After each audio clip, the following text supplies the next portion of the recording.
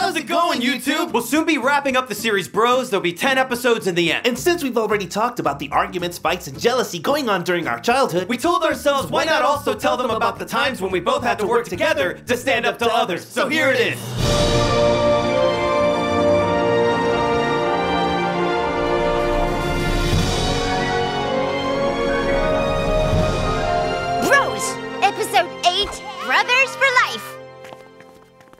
Zero! The score I got on my 8th grade music exam! We were to play a song of our choice. I'd practice Oh when the Saints all week. When D-Day comes along, I forget my recorder, what the hell? And you know nobody was gonna lend me theirs. only assholes in his class. So I sit down at the piano to improvise. Try and send off a little letter to Elise, but she never got it. So I try that Chinese thing with my fist, you know what I mean?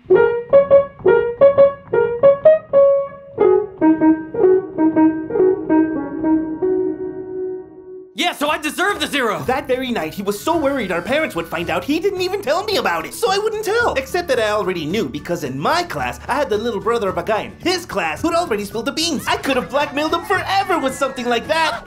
Except for one detail. The very same day, Henry got three hours of detention, which is what saved me. Disruptive behavior, my friends. He poked the guy sitting next to him with a compass, the fool. But he started You it. can't just go stabbing someone with a needle like that, D'Artagnan! We ended up signing a mutual silence agreement. I changed my zero discreetly into a nine. He doesn't tell, and in return, I signed the note about his behavior instead of our parents. Come on, guys. My brother was so gung ho about copying their signatures, even their handwriting, right down to the last pixel. He really has like a superpower, which is even more amazing because if you recall, my mother's a doctor. Me? If you want, I can prescribe you anything you like. I'll just swipe your prescription pad. It'll be classic. You have a headache?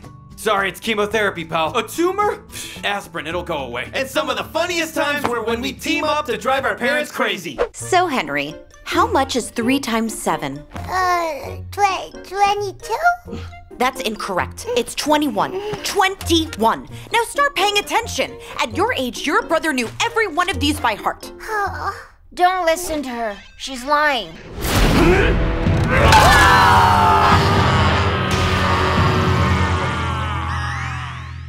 Every year on Chinese New Year, our parents gave us money as a gift, but they never gave me enough to buy myself a video game, deliberately. So, of course, with Kevin, we'd put our two fortunes together and sneak off to Score Game to buy one. One year, we added up Christmas, New Year's, the Chinese New Year, and our two birthdays. We came back with two DSs and five games. It was fantastic. The only problem is that our parents finally figured out our scheme. Well, when you come home from work every night and you see your kids snaking like crazy on Rainbow Road, eventually you think I didn't buy that thing, which means the next Chinese New Year, not even a cent. What's worse is that they asked our nanny to go out and spy on us.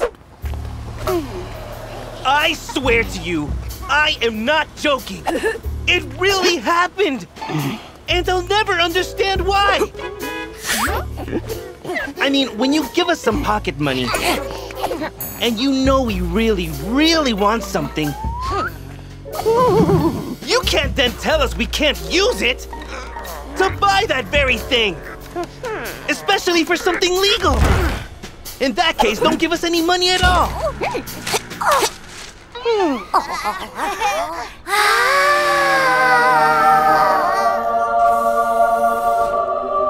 Nope. The worst part is my parents thought it was all my fault. They said I was a bad influence on Henry and accused me of getting him into trouble when he's the one who's addicted to video games. No way around it. According to my mom, the money wasn't meant for games, so the very next Christmas, no more cash. There. That way you've got your Mario. You two are so cute in those little sweaters. Oh yeah, my clothes. Oh la la. Until I was 10 years old, all I wore were Kevin's hand-me-downs. Except at the same age, he was fatter than me. So I walked around looking like a penguin when I was little. No, seriously, just Whoa, take whoa, a look whoa, at. whoa. What are you doing?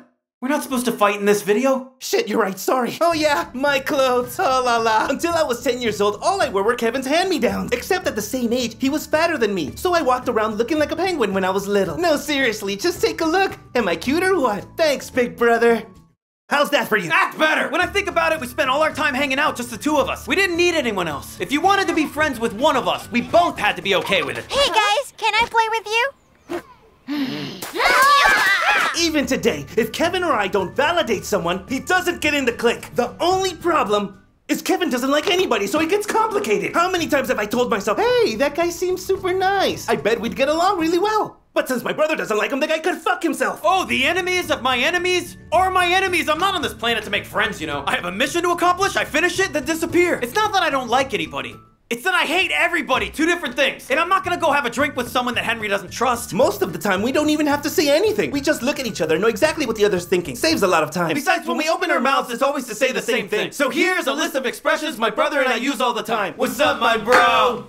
Oh, that's freaking insane! Aw, oh, get out of here! Stung dong, stung dong. The bro did it again. Yeah, the bro did it again. I got you. Hey, Singapore. You made it there, yeah. Oh, oh yeah. Oh, oh yeah. What makes me the happiest of all is that while growing up, our relationship never stopped evolving. For the better, of course. And sometimes, these days, I give a little advice to Kevin about certain things. But he's always really surprised, as if he can't quite believe that I might have a good idea once in a while. Staring at me like, maybe this kid is not as dumb as he looks. Hey, hold on, bro. Take it easy. You know I'd never do anything like that. I've always thought of you as someone eminent. And me what? Anyway, if you have brothers and sisters, take good care of them, because once you're older and join forces with them, you're gonna feel totally invincible. Wait a minute, I was supposed to say that line. What do you mean I was supposed to say it? Bro. Get out of here! You're three years old! You're three years old! You're stupid! I'll stop filming if you keep it up! Peace! Stop!